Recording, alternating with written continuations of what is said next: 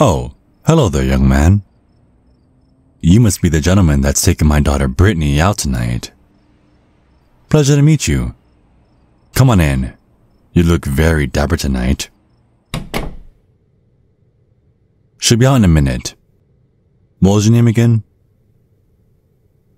Ah, yeah, that's right. Hmm. I was about to call.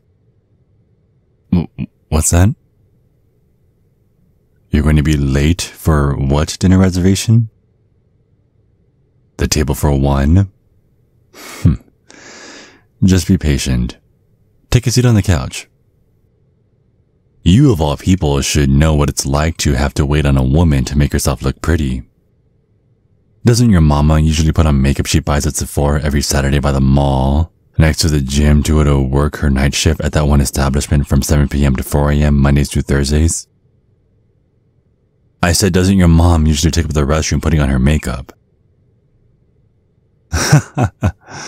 like I said, just be patient, young man. If I can wait 330 years to live in a safe neighborhood and have a beautiful daughter like Brittney, you can wait an extra 30 minutes if she needs it. She's trying to do her best in looking good for you as well, instead of just for herself tonight. So that must mean something, right? well, while we wait, Tommy, what do you do for a living? Are you yet another aspiring TikToker or are you in school or? Oh, that's cool. Well, I wish you the best of luck. What do I do? I don't have a quote unquote typical job like most people do. But if I had to give it a name, I guess you could say I'm a bounty hunter of sorts. The people I hunt, well, let's just say they're also hunting me. And I know what you're gonna say, and no, it's not the same as the police. So, spare me your virtue signaling, all of them are bastards nonsense. I'm very well aware of what people are capable of. Part of my job is to know what certain people are capable of once I get assigned them. When my daughter told me that you asked her out finally, instead of telling my daughter, oh no, you're too young and you're not gonna date until you're 50 and all that spiel, I simply asked for your name and bing bam boom, I found your socials. You really ought to update your passwords. What's the matter? Why are you doing that fuckboy cocky smile? You know, the last time someone smiled at me like that, nine months later my daughter was born. My wife and I don't mind getting our hands dirty in order to prove a point. It's 2022. We'll go whichever way we need to, cowboy, in order to correct any and all mistakes. I looked through your socials even the ones you thought you could hide. You're quite the ladies' man. I remember one particular picture you were in where a lady and her daughter your mom was friends with had their arms and hands all over you. That was only a month ago. Around the same time my daughter said she met you. My wife and I agree that they were quite tasty. I said my wife and I agree that the foods they made were quite tasty. They seemed like nice people. Shame their socials were strangely deleted shortly around the same time. Hmm. Anyways, do you have any other hobbies? You know, ones that I don't already know about?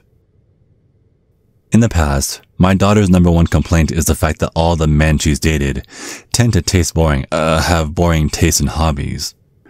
I wouldn't consider my daughter to be high maintenance, but she's not one to just sit around all day playing Apex Legends from 11 a.m. to 7 p.m. and maining Octane. I told you, it's my job to know everything.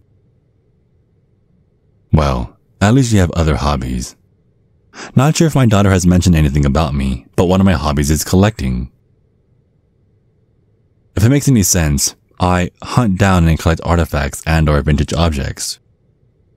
Essentially, it would be like you youngsters collecting Zunes and Motorola droids instead of trying to collect every color of the newest iPhone when they drop like most of the greedy humans people in the world. Eh, well, yes and no. The artifacts and vintage objects I do hunt down are more in line with trophies. And no, not trophy hunting. I would never bring myself to hurt an animal. Uh, oh, look over there. Uh, over there. Take those two thermometers that are on my mantle. That is the first ever Fahrenheit thermometer that was invented by the German physicist Daniel Gabriel Fahrenheit in 1724.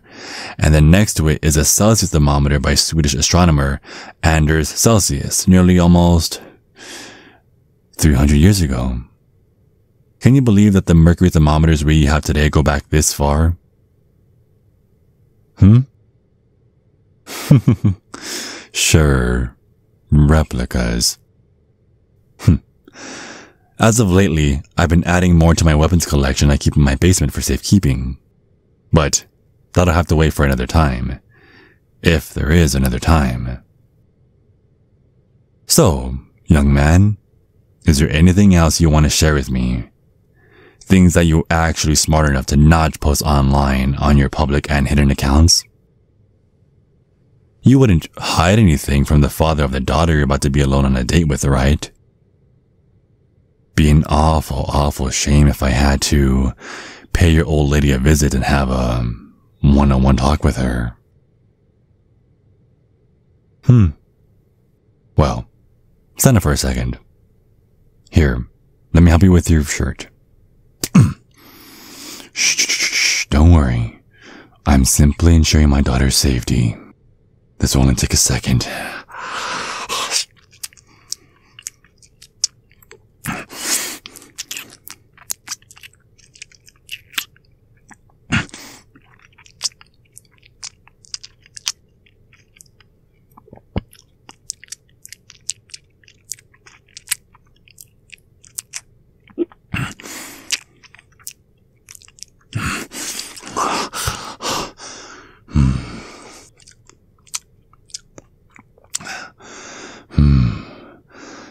Like you're telling the truth. Let's clean you up. My daughter hates when I do this to her dates. Okay. And let's fix this here. Alright. Hmm. Hey. It's okay, boy. Look at me. Hey. Look at me, boy. You will have no memory of this happening. You simply slept on your neck wrong. Is that understood? Good.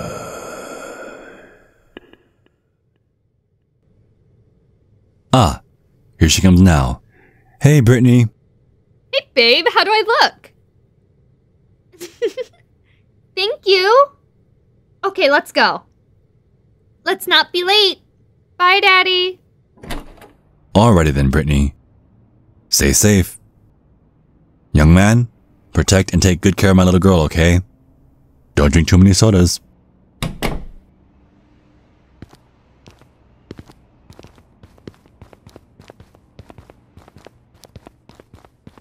Hey, baby. What's that on your face?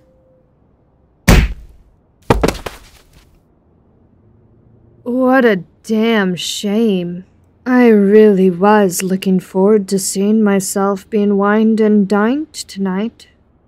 Good job, sweetheart. Now come on. Take his keys and get rid of his car while I take him to the basement.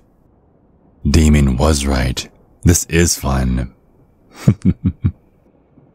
his blood will satiate us until your next date on Saturday.